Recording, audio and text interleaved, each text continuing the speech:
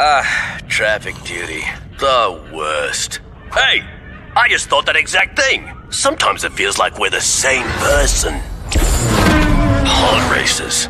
Don't see those every day. Jinx! Oh! Double jinx!